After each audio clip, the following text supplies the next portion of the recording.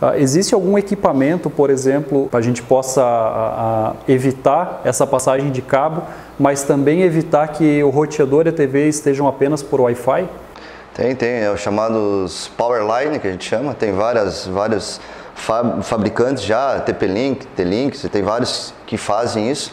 Você usa, coloca o equipamento numa tomada, liga esse equipamento no seu roteador através de cabo, usando a mesma, tem que ser a mesma rede, a mesma fase. No mesmo, no mesmo disjuntor. Mesma fase do disjuntor. Tu coloca esse outro equipamento numa outra tomada e desse aparelho liga na TV.